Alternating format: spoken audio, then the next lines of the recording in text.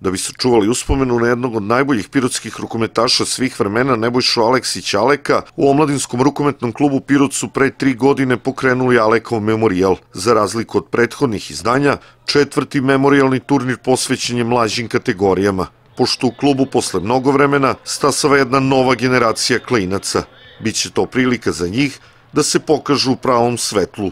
Učestvuju četiri ekipe. Organizujemo taj turnir gde će pored e, ekipe domaćina kod nas da dođu i e, drugari iz Knjaževca, iz клуба rukometnog kluba Mini, Mini Knjaz, iz rukometnog kluba Caribrod iz Dimitrograda i, i ORK Pirot iz Bele Palanke.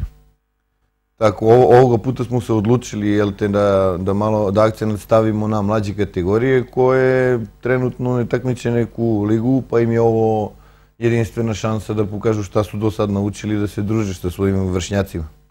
Četvrti Alekov memorial igra su u Hali Kej. Otvaranje sutra u 10 sati. Prva utakmica na programu u 10.15. Ukupno će biti odigrane četiri utakmice.